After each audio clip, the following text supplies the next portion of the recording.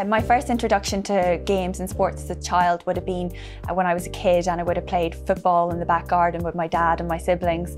Um, as I got a bit older, I'd played netball in primary school and secondary school. Um, and then when I was about 14, my local Gaelic football club uh, started a ladies team, which I'd never played before, but I joined and uh, I'm, I'm still playing to this day. My background is in maths, um, so I've always loved maths from a really early age. Uh, my parents both did maths at college also, um, so I had a lot of encouragement there from them and support. Eventually, whenever I left college, I still didn't really know what I wanted to do, so I ended up going to a load of jobs fairs, um, exploring my different options on both sides, and eventually I did went to one job fair in Dublin, and when I was researching the companies beforehand, uh, I noticed the quants job at Paddy Power, and for the first time I thought this is a job job that something that I would be really, really interested in and think I would enjoy. So I went to the jobs fair, uh, spoke to HR there, um, applied for the role, and five years later, I'm still there. So I'm currently working as the head of modelling and innovation in uh, the risk and trading department at Paddy Power Betfair. Um, so my team are responsible for creating a lot of the sports and risk models that the trading team use on a daily basis. So what we do is we use huge amounts of sports and betting data um, to look for trends in the data to try and put the most accurate odds on sites and, and try and get them as correct as possible. In terms of the day-to-day -day role, uh, it, it's based a lot around logical thinking uh, and problem solving. So that is something we value whenever we whenever we hire. Uh, we don't necessarily need people to be super technical, um, though even though our role involves coding, it's something you can learn on the job. I actually didn't even know what coding was whenever I joined uh, Paddy Power Betfair, so that was a bit of uh, a very steep learning curve, but it's actually something that I really enjoy about my job now.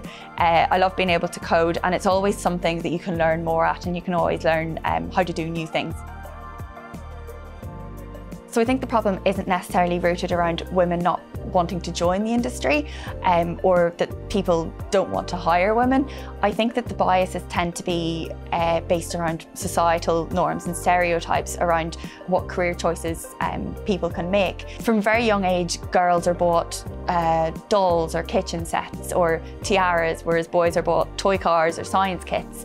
Um, that continues then on to, into school, wherever boys are tend to be pushed towards um, STEM subjects and girls are tend to lean towards the arts and humanities. So what we really need to do is try and focus more on encouraging young girls to study these subjects from a young age.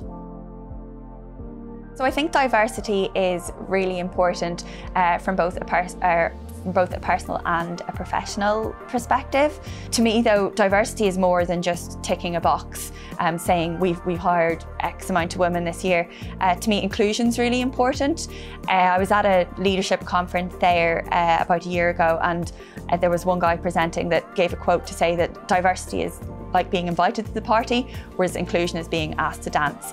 Um, and I think it's not just important to get more women in the door, it's important to make sure that the workplace is welcoming and inclusive and it makes women feel valued. I would advise women to talk to other women in the industry or in the company they'd like to work for to get an idea of what the culture is and if it's a good fit. I'm fortunate to work for a company that does have a good culture and a positive attitude towards diversity and towards women. I'd also say be confident in yourself. Um, you got hired because you deserve to be there. Um, it can be intimidating being one of the few women in the office, um, but at the same time, um, don't be afraid to express your opinion. Don't be afraid to bring your own personal style to the table. And most importantly, just be yourself.